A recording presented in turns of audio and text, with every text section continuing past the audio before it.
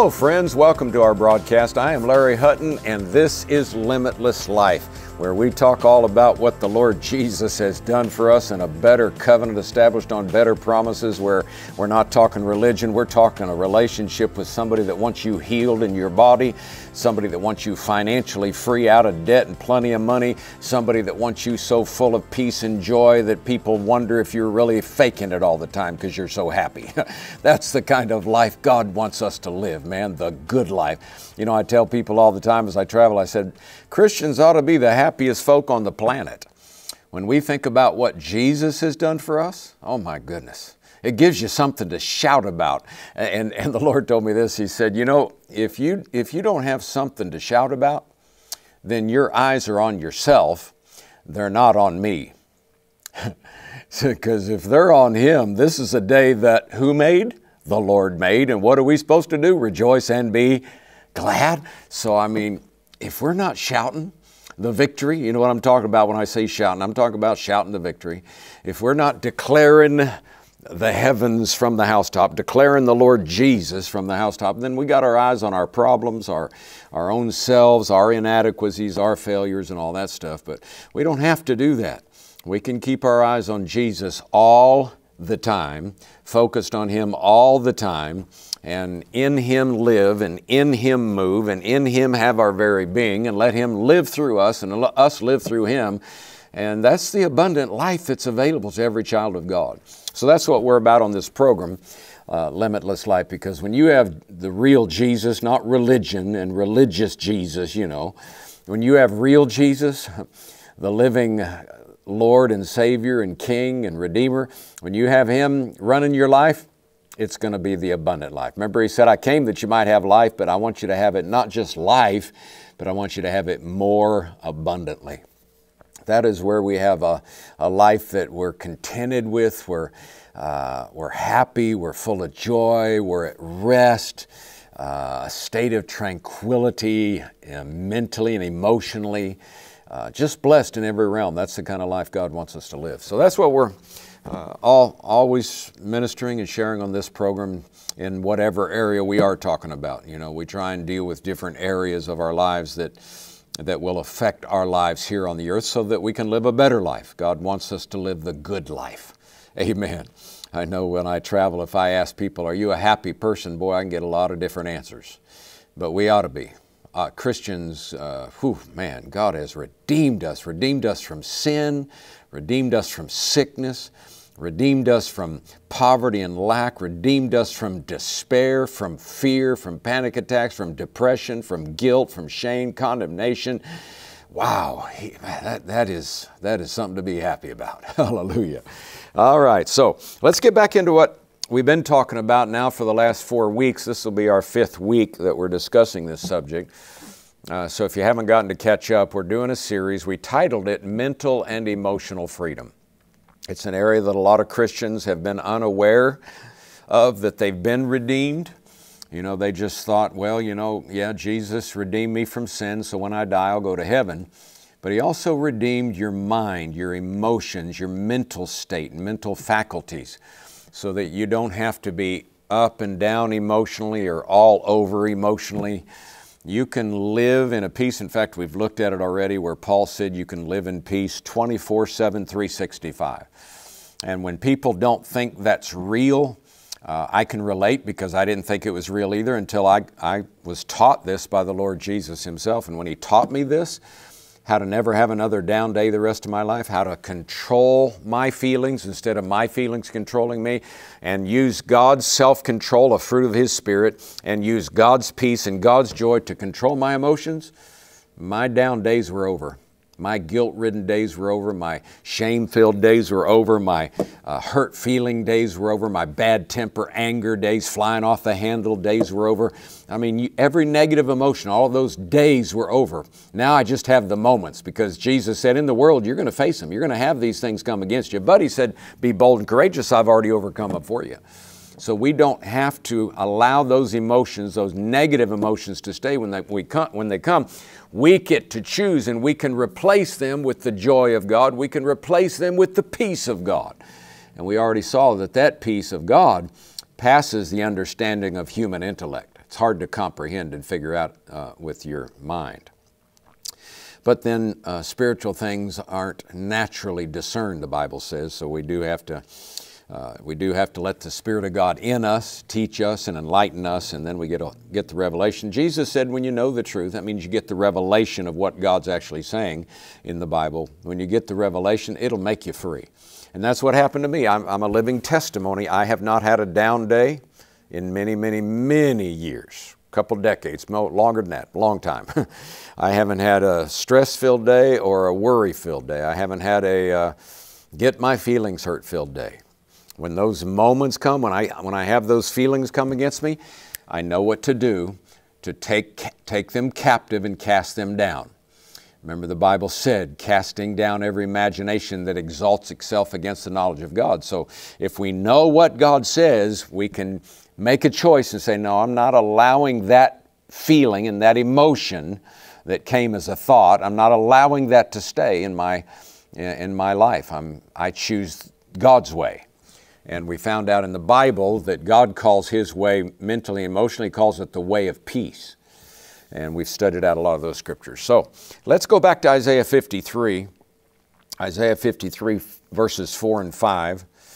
And we will read, this has been our foundation text each, each program. Uh, verse 4 said, Surely that Jesus has borne our griefs, says He, that's talking about Jesus. Jesus bore our griefs and carried our sorrows. Now, anybody that could read those words know that griefs and sorrows are emotions, they are feelings. They deal with the feeling realm of our minds, our mental states. So, if somebody's down with grief, down with sorrow, uh, their emotions are being weighed down. And we've already looked at the verses that those are very dangerous emotions to allow to stay. Uh, depression, discouragement, hopelessness, guilt, shame, all those emotions weigh you down, Jesus said, and cause you to not hear what the Spirit of God's saying. So then you're wondering why other Christians are hearing the voice of the Lord, hearing God's leading, and they're leading, but you've been praying and praying and praying and praying and praying, and you're not getting any leading, and you're wondering why. Because these negative emotions uh, weren't, or God didn't design us to carry these negative emotions, is how I should say it. They, these negative emotions uh, are not supposed to be part of our lives. So when they come, we have to resist them. So it says, Surely Jesus bore our griefs and sorrows. We found out that word grief and sorrows, if you look up the Hebrews, it includes every negative emotion from depression to bad temper to hurt feelings to guilt. I mean, you name it, every negative emotion is carried here uh, in these two Hebrew words, grief and sorrow. And then verse 6 says, The chastisement of our peace was upon him. I mean, verse 5, the chastisement of our peace was upon him. And we found out that that simply means that anything, any situation, I guess you, the easiest way would be to say any cause or any reason for us to feel down or depressed or stressed or worried or panicked or whatever negative emotion you want to mention. The reason for us to feel that way, Jesus faced every one of those causes, every one of those reasons, and defeated them for us as well. So if you take one thing, for example, let's take let's take, um, let's take stress. Stress is a type of fear, uh, but let's take stress. Somebody's really stressed out about something. Uh, Jesus bore your stress so that you don't have to be stressed out about anything, but then He faced every reason or cause. Before you ever did, He faced the reason you're going to be stressed, and He defeated that reason. Isn't that cool? So that is so cool because he, he bore every negative emotion, but then he faced the reasons and causes that I would be facing, and he defeated them so I don't have to. I just love it. I mean, he, he took care of everything for us, man, from, uh, from A to Z. No wonder the Bible says he's the author and the finisher of our faith. He's the beginning and the end to our faith, man. He flat took care of everything. And that's why I say we ought to be happy folk. Christians just ought to be happy. If we'll get our eyes off of Jesus, I mean, get our eyes off ourselves and onto Jesus, like Hebrews says, looking unto Jesus, right? The author and finisher of our faith, who for the joy that was set before him endured the cross, suffering the shame, even though he despised it. But then it says, consider him, consider him, lest you, be, lest you faint and be weary in your minds. So I'm just telling you, based on what Jesus has done at Calvary, we do not have to be depressed. We don't have to be fearful, have panic attacks. We don't have to have any of that going on in our lives. When it comes, we get to make a choice, and we've discussed that. Let's go back over to 1 Peter chapter 5 now. 1 Peter and chapter 5. And notice verse 7 again. We were talking about this verse, casting all your care. Uh, it doesn't say cast all your care, it says casting all your care. And um, uh, the Lord told me, I told you this, the Lord told me, don't, uh, uh, you don't start a verse or a thought or a sentence or a paragraph with the word casting. Uh, so when we went back and read, you know, we got to the end of verse 5 God resists the proud and gives grace to the humble. Humble yourselves, therefore, under the mighty hand of God, that he may exalt you due time, casting all your care. In other words, humbling yourself by casting your care opens up, according to verse 5, the grace of God in our lives. And remember, come boldly to the throne of grace to obtain mercy and find grace to what? Help. You need God's grace. I need God's grace. We couldn't have got saved from sin without it. And guess what? You can't get saved from sickness without it. You get, can't get saved from depression without it. You can't get saved from poverty or lack without it. You can't get saved for, from panic attacks or, or guilt or shame or bad temper. You can't get saved from any curse without God's grace. It is by grace that we are saved through faith, so that we, we have to believe and take hold of what God says, and that's what releases grace. And so when you, when you take this kind of passage backwards, casting all your care, and you go back up to verse 6, and it says, You humble yourself when you cast your care. And then verse 5, when you humble yourself by casting your care, verse 5 says, God gives you grace because you're humble. Praise God. So that that that ought to be something we want to do then just cast get rid of that depression get rid of that stress get rid of that worry get rid of that hurt feeling get rid of that anger get rid of it because it's pride. What's the opposite of humble? Pride right? God resists the proud and gives grace to the humble verse 5 says. And so humble yourselves verse 6 by verse 7 casting all your care. And of course we talked about this uh, this word merimna and how Jesus used this word different places so that we could see uh, how dangerous it is for us to keep this care and how uh, um, deceptive it is. So many people, I mean, if somebody's depressed, they don't even realize it's so it's a deceptive form of pride. People don't realize when I'm depressed, I'm in pride. When I'm stressed or worried about something, I'm in pride. When I'm all mad and flying off the handle, I'm in pride. When I'm, when I'm full of guilt and full of shame for what I did or something, I'm full of pride. God doesn't want you doing that, man. He wants you, he wants you casting. He says it right here. How much? How many? Look at verse 7. How many of your cares are you supposed to cast? All. He didn't say most, he said all. So if you're carrying a care, get rid of it. God wants all of them gone. He knows you weren't designed to carry them, and, and, he, and He loves you so much. Look what it says casting all your care, for He cares for you. God loves you so much, He cares for you so much, He doesn't want you carrying a care because He knows you can't handle it. So just go ahead and let Him be Lord of it. Hallelujah. So let's go back to Luke 21 where we left off last program. Uh, Luke 21, we were noticing this same word, casting all your care, the Greek word merimna. It's used here in Luke 21 34. Jesus said, Take heed to yourselves, lest at any time your hearts be overcharged with surfeiting, drunkenness, and what? Cares of this life.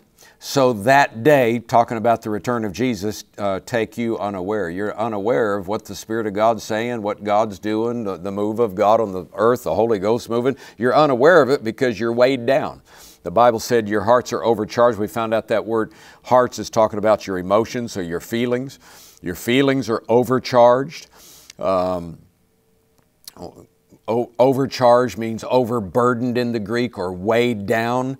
And I pointed out last time, notice the three things that it talks about weighing down. Two of them involve alcohol.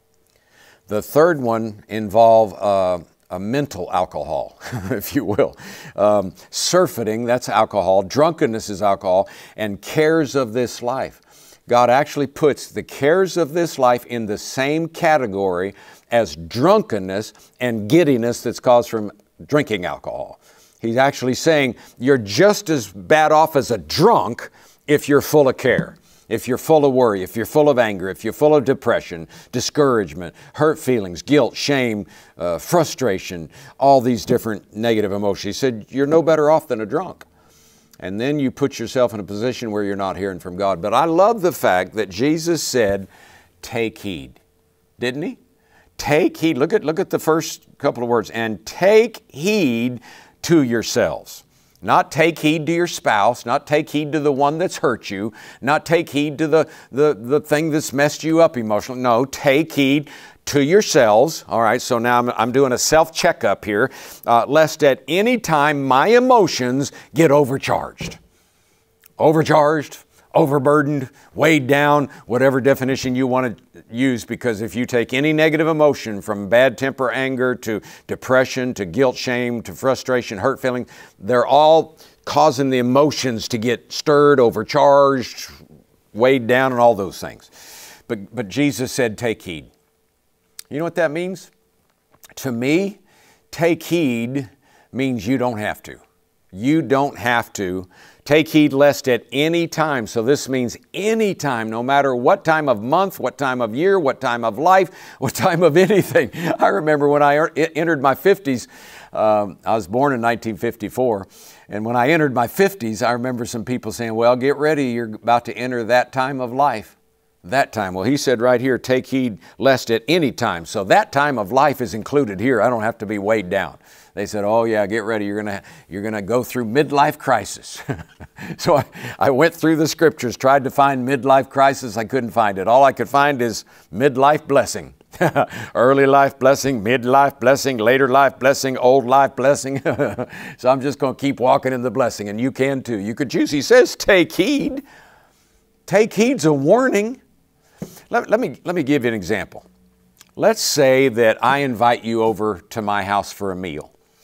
And let's just pretend for a moment that I have a, a uh, Rottweiler trained attack dog that was trained in the Gulf War and, and went into Iraq in numerous occasions and killed 12 different people on all of his missions. And, and uh, let's say I just had, I don't really have one, but let's just say I had one. And I invited you over for dinner. But before you came, I said this to you now take heed when you come to my house, because I have a large black Rottweiler, uh, killer dog. Uh, and so just be aware that when you get here, I, you know, I want you to make sure that you don't just walk in the gate and, and not give me a warning. So uh, I'm letting you know in advance. And for me to tell you, take heed, how would you interpret that? Wouldn't you say, well, Brother Larry must really like me. You know, he gave me a warning that I don't have to be his dog's lunch or dog dinner, you know. I'm going to go to his house for dinner and not be dinner, right? So, so for me to say take heed, then, then I'm actually loving you enough to give, come on, if I, come on, if I didn't love you, if I didn't care about you, you know what I'd say? I'd say, hey, come on over for dinner period. Not even tell you anything, let you walk in and be dinner. no, but for me to actually say take heed, it means I'm warning you, you do not have to have this happen to you then. And this says, take heed lest at any time your emotions get overcharged with alcohol. So it gives us warnings of alcohol here. Uh, surfeiting, which is drinking a little alcohol. Drunkenness is drinking a lot of alcohol. And then the cares of this life that's, that's, the, that's the messes that put people uh, in uh, a tailspin, down into the dumps, so to speak. Um, let me show you, while we're talking about it here, we're looking at this word merimna, and let me show you another place Jesus uses it so you can see uh, why we're supposed to cast these cares. Uh, go over to uh, Mark's Gospel, the uh, fourth chapter. Let's look at the parable of the sower here. I won't take time to read it all, but let's um, read a portion of it. You know, after he reads, after he says the parable, then he tells us that the sower sows the word, you know, in verse 14, and then he gives the uh, explanation where he actually expounds on and teaches what he meant by the parable. Uh, so let's pick it up, the parable of the sower. This actually talks about four types of ground. It talks about the wayside ground, the stony ground, stony ground, the thorny ground, uh, and the good ground. So let's talk about that. And you know the ground, I, you, you probably know this, is, is being, uh, is referring to the soil of the heart. So let's just pick it up here. And just in case you've not learned this yet, Satan is the one that's behind the attacks in all three grounds that are mentioned first before the good ground. The, the wayside ground, the stony ground, the thorny ground. He's the one that's behind all of those, trying to get the word out of you. So let's pick it up. The sower in verse 14 sows the word, and these are they by the wayside where the word is sown, but when they've heard, Satan comes immediately takes away the word that was sown in their hearts. So right off the bat, in the first ground, wayside ground, God establishes who it is behind the attacks that are trying to steal the word because God knows and Satan knows that if you take the word and you stand upon it, it's going to be a foundation that keeps you from falling, keeps you from sinking, keeps you from going down and going under. It'll put you over life. Excuse me. Um, verse 16, and these are they likewise which are sown on stony ground. Now remember, in context, this really wasn't another verse. And is a conjunction mean. I'm going to carry, I'm going to let you know what else Satan does. If, he, if Satan can't steal the, the seed real quick off of the wayside ground, then he's going to try and get it on the stony ground. Look what it says. These are likewise they who sown on stony ground, who, when they have heard the word, immediately receive it with gladness, but they have no root in themselves, and so endure only for a short time. Afterward, when affliction or persecution arises, for the word's sake. Aha, so the affliction and persecution is trying to get the word. And what is the previous verse, or who does the previous verse tell us is trying to get the word? Satan. So we know that Satan then is bringing the afflictions and persecutions to try and take the word and it says they are offended. Verse 18, and these are they which are sown among thorns, such as hear the word, and the cares of this world, notice that word cares, the cares of this world, the deceitfulness of riches, the lust of other things enter in, choke the word, it becomes unfruitful. And these are they which are sown on good ground, such as hear the word, receive it, bring forth fruit, some 30, 60, 100 fold. So notice verse 19, the word cares, this is the word cares that we're seeing in 1 Peter chapter 5 and verse 7, casting all your what? Cares. This is the same word, merimna. And uh, it's so important to get rid of this merimna, this, this depression when it comes, this stress when it comes, this worry, this hurt feeling, this bad temper anger. It's so important to get rid of it because merimna turns into what it what it actually comes out of. If you look at this Greek word merimna, it comes from a, a root word in the Greek language, merizo. And merizo means, well, let me read W.E. Vine's expository dictionary. Uh, Vine says to draw into different directions. Oh, oh I'm sorry. Actually, uh, this is Vine's this is Vine's uh, definition of merimna to draw in different directions to distract. So we saw that the cares, merimna, which we originally talked about, the troubles and cares and worries, now Vines is letting us know it's, it's to draw us and distract us. But it comes from the word merizo, which means to disunite or to divide. It means to part, disunite, divide. Uh, in other words, you and I could say cut into pieces. I can, I can show you real quick, my goodness, another place where this word merizo, we have a couple minutes yet. Look at uh, Matthew 12, 25. Matthew 12, 25. This is the word merizo, which merimna comes from, merizo. Jesus knew their thoughts and said to them, Every kingdom divided against itself is brought into desolation, and every city or house divided against itself shall not stand. The word divided here is the word merizo, which is what care. Marim, casting all your merimna care, it comes from this root word, and this root word means to divide. Divide, and that's why every house divided itself can't stand.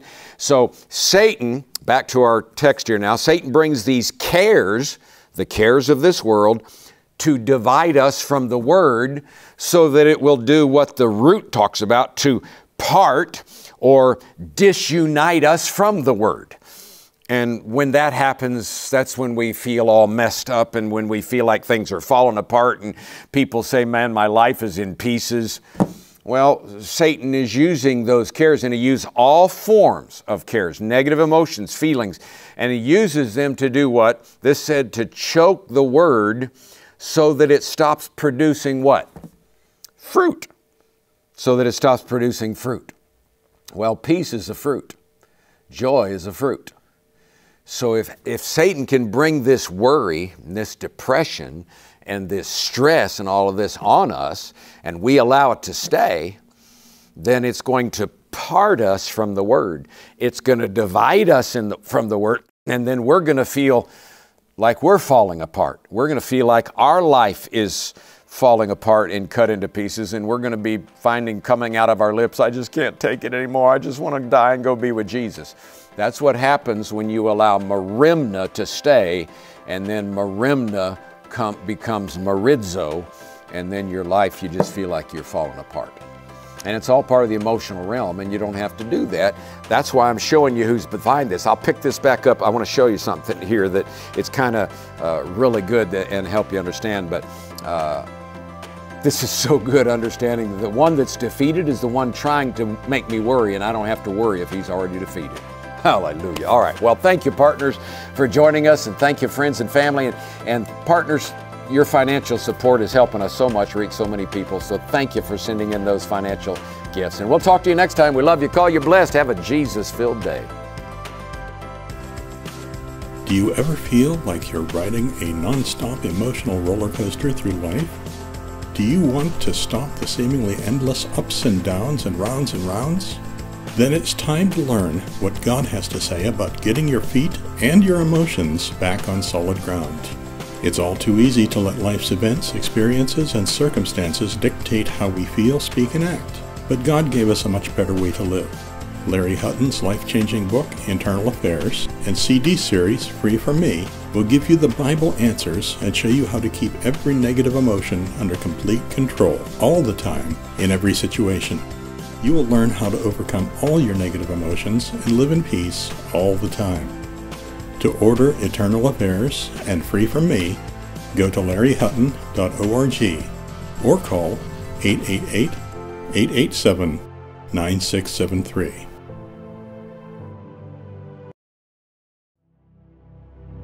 Join us again for Limitless Life with Dr. Larry Hutton, where you'll get practical teaching from God's Word that you can apply to your everyday life. Go to larryhutton.org to watch this program and many others. You'll find special offers and resources to help you thrive in life. You can check on Larry and Liz's schedule and join them at a meeting near you. That's larryhutton.org, or you can call 888 887 WORD.